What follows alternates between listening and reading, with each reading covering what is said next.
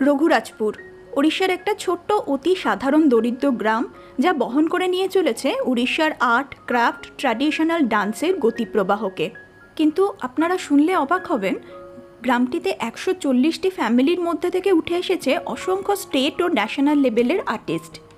গ্রামের প্রতিটা ঘরে ছড়িয়ে আছে কাপড়ের ওপর তৈরি করা পটচিত্র, তালপাতার ওপর খোদাই করা পৌরাণিক কাহিনী, তসর পেন্টিং সরা পেন্টিং বা tribal painting, paper painted mask বা টয়েস আরও কত অসাধারণ সৃষ্টি।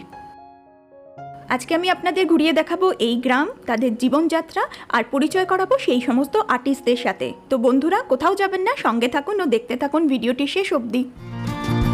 হ্যালো বন্ধুরা, আমি সাথী, আপনাদের ভ্রমণ সাথী। ফিরে এসেছি পুরী সিরিজের থার্ড এপিসোড নিয়ে। আজ আমাদের ডেস্টিনেশন হলো পুরী শহর থেকে চোদ্দ কিলোমিটার দূরে অবস্থিত রঘুরাজপুর ভিলেজ বা আর্টিস্ট ভিলেজ, যা বিখ্যাত তার পটচিত্র এবং গতিপুয়া ডান্সের জন্য। আর হ্যাঁ যারা এখনও ফার্স্ট অ্যান্ড সেকেন্ড এপিসোড দেখেননি, তাদের জন্য আমি ওপরে আই বাটনের লিঙ্কটি দিয়ে রাখলাম, অবশ্যই দেখে নেবেন। গাড়ি ও ই রিক্সা দুটোই পাবেন পুরী শহর থেকে, তবে আমরা গাড়ি ভাড়া করে নিয়েছিলাম সাইট সিং এবং রঘুরাজপুর ট্রিপের জন্য, যার ভাড়া পড়েছিল আমাদের চারশো টাকা পার পারসন এখন আমি দাঁড়িয়ে আছি এন্ট্রেন্স গেটের সামনে। গাড়ি থেকে নামার সাথে অনেকে এগিয়ে এলেন সাহায্য করতে ও তাদের বাড়িতে নিয়ে যাবার জন্য। এন্ট্রেন্স গেটে নেমেই চোখে পড়ল তিনজন আর্টিস্টের মূর্তি, যারা ভারত বিখ্যাত এবং যাদের জন্মস্থান এই ছোট্ট গ্রামটি। প্রথমেই রয়েছেন জগন্নাথ মহাপাত্র, যিনি প্রথম প্রেসিডেন্ট অ্যাওয়ার্ড পান পটচিত্রকে প্রমোট করে সারা ভারতে ছড়িয়ে দেওয়ার জন্য। দ্বিতীয় যে মূর্তিটি দেখতে পাচ্ছেন এটি পদ্মশ্রী মাগুনীচরণ দাস, যাকে বলা হয় মাস্টার অফ গতিপুয়া ডান্স তৃতীয় মূর্তিটিতে রয়েছেন অতি পরিচিত ও বিখ্যাত ইন্ডিয়ান ক্লাসিক্যাল ডান্সার ওড়িশার প্রথম পদ্মবিভূষণ কেলুচরণ মহাপাত্র। এবার ঢুকলাম গ্রামটির ভেতরে। গ্রামটির মাঝ বরাবর দেখলাম লম্বা সারি করে রয়েছে ছোট ছোট টেম্পল, প্রায় দশ বারোটা মতো, আর তার দুধার দিয়ে রয়েছে গ্রামের বাড়িগুলো। প্রত্যেকটা বাড়ির সামনে দেখুন কি সুন্দর করে ড্রয়িং করা পৌরাণিক কাহিনী ছিল তার সাথে বিয়ের সময় বানানো নকশা বা তাদের নাম খোদাই করা রয়েছে।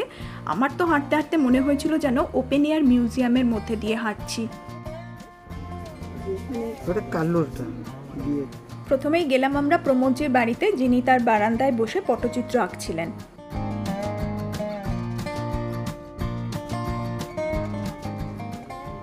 ওটা টসর পেন্টিংটা এখান থেকে কাজ ওটা না কাপড়টা টসরটা আপনি আপনার যেটা শাড়ি নেব ওই শাড়ির মধ্যে ওইটা কাজ করে। আর যেটা আমার গ্রামের প্রফেশনাল আছে পটচিত্র ওইটা আলাদা। ওইটা কেন হয়? না আপনার যেটা কটন কাপড় হচ্ছে যেটা আপনার ইউজ করে শুধু রস্ট হয়ে যাচ্ছে। ওইটা সফেদ করে আমি তারপরে গম দিয়ে আর চক দিয়ে এরকম বানাই। গম দিয়ে আর চক দিয়ে? চক দিয়ে। পুরনো ছেঁড়া জামা বা শাড়ি একসাথে পেস্ট করা হয় এক রকমের আঠা দিয়ে, যা তৈরি করা হয় তেঁতুলের বীজ থেকে। তারপর সেটাকে বহুদিন রোদে শুকোনো হয়। বেশ কিছুদিন শুকোনোর পরে সেটা পেপারের মতো হার্ড হয়ে যায়, তাতে চক পাউডার ব্যবহার করে সেটাকে পলিশ করে করে কাপড়ের রং তুলে হোয়াইট সারফেসটা রেডি হয়ে যায় পটচিত্র পেন্টিংয়ের জন্য।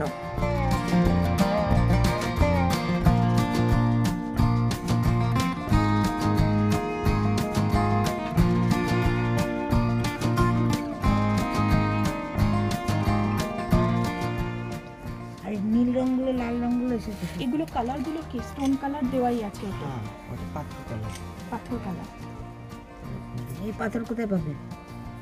ওটা ওইটা বাজার থেকে নিয়ে হয়। এরকম দেখছি না জল দিয়ে তো এই সবাই তো চলে আসে তাড়াতাড়ি নিয়ে যাবে। ওটা এমনি শুকা অনেক দিনে থাকবে। তারপরে কাল কালারটা হবে। তাহলে আপনার নামটা আরেকবার একটু বলবেন। প্রমল। আর এগুলোর দাম দাম আছে? এটা আছে আলাদা আলাদা দাম আছে ওটা চারশো টাকা আছে। চারশো টাকা। ওটা চারশো পঞ্চাশ টাকা।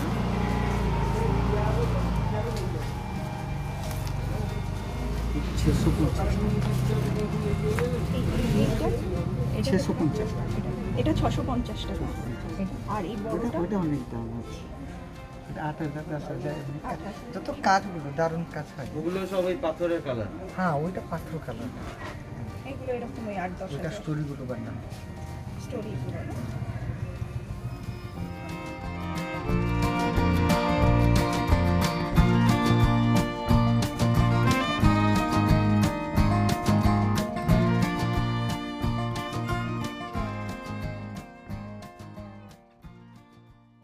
পটচিত্রের পরে এবারে আমরা দেখছি এনাদের আরেক অনবদ্য সৃষ্টি, তালপাতার ওপর পেন্টিং।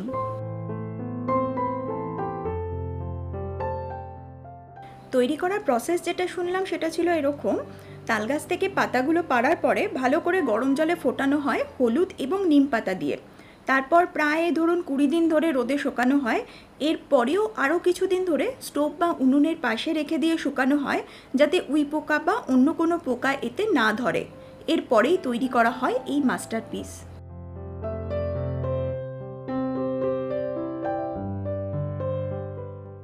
এবারে প্রমোদজি আমাদের স্যাম্পল হিসেবে দেখাচ্ছেন যে কীভাবে এই তালপাতার ওপর খোদাইটা করা হয়। দেখুন, একটা শার্প আয়রন পেন দিয়ে লাইন করে করে তাতে ডিপ্রেশন তৈরি করছেন পাতাগুলোর ওপরে।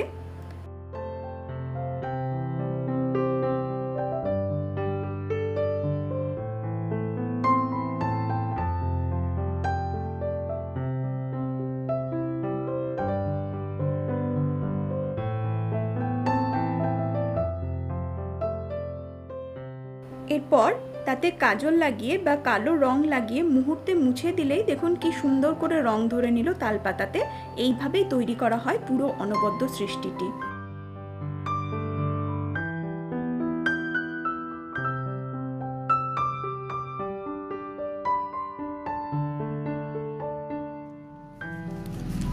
এটা বানালেন এটা কালো হয়ে গেল? ওকে আচ্ছা আচ্ছা আচ্ছা। মানে ওই যে যেটা গ্যাপটা ছিল ওটা কালার দিয়ে ওটা কালার দিয়ে হ্যাঁ, ফিল হয়ে গেল। মানে যেটা ডিপ্রেশন মানে ইমিডিয়েটলি ওটা শুষে গেল। শুকে তারপর ওটা যত ধূপ সময় হয় ওটা নেব বাড়িতে। তারপর দিয়ে দিই এরকম কালারটা দিব এরকম থাকবে। দিয়ে তারপরে এরকম হয়ে যায় প্রমোদজির বাড়ির পরে আমরা একটু এগিয়ে যার বাড়ি গেলাম তিনি তার বারান্দায় বসে এঁকে চলেছেন পেপার পেন্টেড মাস্কগুলো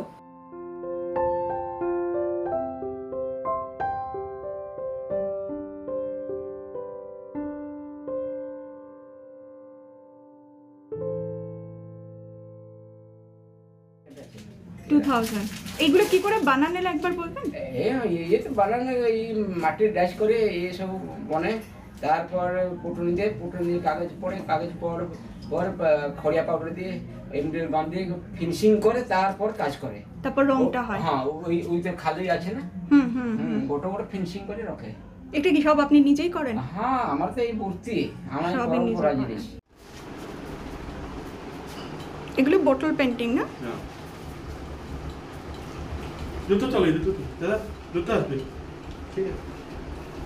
এগুলো এগুলো কি আছে? এটা নারকেলের মালাটা নারকেলের মালা। তার মধ্যে জগন্নাথ বলরাম সুভদ্রা। আচ্ছা আচ্ছা। এগুলো কীরকম প্রাইস আছে? এই- এগুলো? একশো কুড়ি করে। একশো কুড়ি। হ্যাঁ। এগুলো কি এটা বাইরে এন্ট্রান্সে লাগাতে। না এগুলো আপনার কালার থাকবে? হ্যাঁ কলার কোনো অসুবিধা নেই।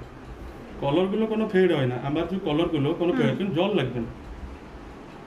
জল লাগলে নষ্ট হয়ে যাবে। জল লাগলে উঠে যাবে। হ্যাঁ কিন্তু এটা কি না আর আমার টচুর লাগানো আছে এটা কি না সাপোজ পানি বাজগুলো কিছু খারাপ হবে না তারপরে টচুরটা লাগানো আছে। একটু দেখি না আমার কাজগুলো ঠিক আছে। এগুলো মধুবনী প্রিন্ট না? না এটা সৌরা পেন্টিং এগুলো আমার মা করেন এই কাজগুলো। সৌরা প্রিন্ট সৌরা পেন্টিং আচ্ছা আচ্ছা। নাগার্জুন বেশ যে পঁচিশ এটা বছরে এটা এটা রাজবেশ এটা আলাদা আলাদা করে দেখান। এটা হচ্ছে রাজ বেশ হ্যাঁ। এটা হচ্ছে বড় সিঙ্গার বেশ মানে রোজ যে হয়। ছোট পেনটা নাকি তো দিয়ে লগাইলে হবনি না দশটা ওইটা হচ্ছে নাগার্জুন বেশ। এটা নাগার্জুন ছোট গেছি এটি লগে। এরকম হচ্ছে হ্যাঁ, এরকম টসর ওপর হচ্ছে ছোট হয়ে যাবে। পার্সোনাল অভিজ্ঞতা থেকে বলছি রঘুরাজপুর আসলে কিন্তু অবশ্যই হাতে একটু বেশি সময় নিয়ে আসবেন। তাহলে এখানে ট্র্যাডিশন বা আর্ট ও ক্রাফটের ডিটেলস ভালো করে এক্সপ্লোর করতে পারবেন।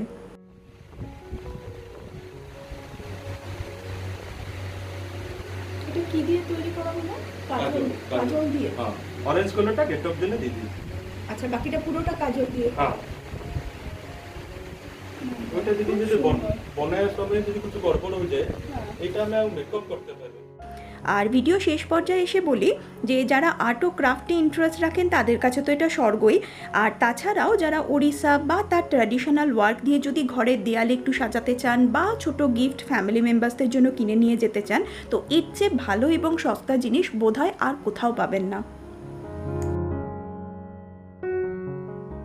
ভিডিওটি শেষ অবধি আমাদের সাথে থাকার জন্য ধন্যবাদ জানাই সবাইকে। ভিডিওটা ভালো লাগলে অবশ্যই লাইক ও শেয়ার করবেন বন্ধুদের সাথে। আর ওয়েট করে থাকব কমেন্ট বক্সে আপনাদের ফিডব্যাকের জন্য বা এই ভিডিও রিলেটেড কোনো রকম প্রশ্ন থাকলে অবশ্যই কমেন্ট বক্সে আমাকে জানাবেন। দেখা হচ্ছে খুব তাড়াতাড়ি আমার নতুন ভিডিওর সাথে। সেটার আপডেট পাওয়ার জন্য অবশ্যই সাবস্ক্রাইব করে রাখবেন আমার চ্যানেলটা আর বেল বাটনটি তো প্রেস করতে একদমই ভুলবেন না। ধন্যবাদ।